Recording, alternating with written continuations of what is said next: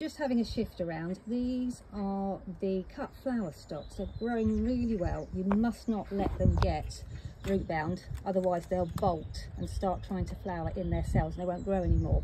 So it's priority number one to start thinking about our stocks. These have been hardening off for about a week and a half, so I'm going to move them around to the more exposed hardening off area and I shall get them in the ground in the next couple of days.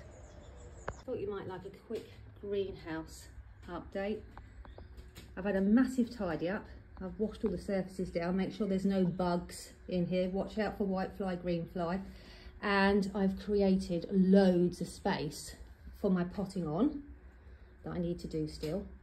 Then out here in the hardening off area, I've cleared a space. I will show you my plant nursery in a second. So I've evicted the phlox, wrinkle cress, the last of the stocks, so many stocks. I got carried away sowing those. So there's no more sowing to do.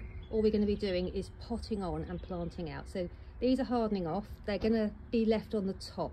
This is very sheltered and the light is quite gentle here. But if we get bad weather, I can pop them underneath. Hopefully not. Hopefully they can just stay out here just to harden up, get themselves ready for the outside conditions in the paddock. So this is the plant nursery.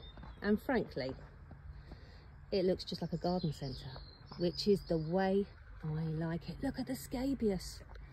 Absolutely fantastic. So these plants have all been hardened off and now are ready to go out into the garden.